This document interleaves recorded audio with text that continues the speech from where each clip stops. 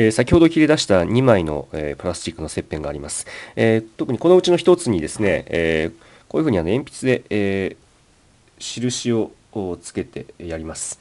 これは、えそうですね、これで言うと、ここから先は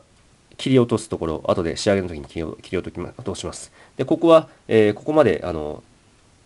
テフロンテープを巻くという印ですね。まずですね、テフロンテープを巻く前に、えー、こういったあの紙絆創膏とか、あのこれはあの、えー、マスキングテープの細いものですけども、えー、これで2枚の切片をですね、ぴったりと合うようにしてから、えー、このテフロンテープを巻くここのここから上の部分ですねそこを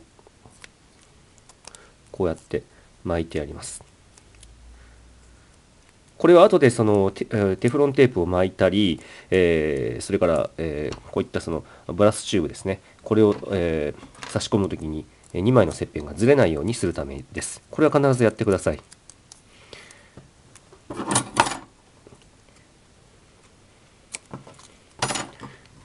ちなみにこれあのこういうふうにあのマスキングテープで、えー、巻くのではなくて小さなあのゴムですね。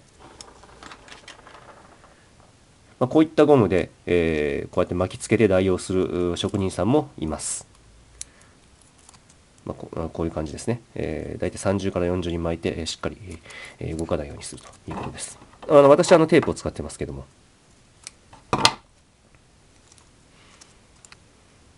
えー、これでしっかり固定されました。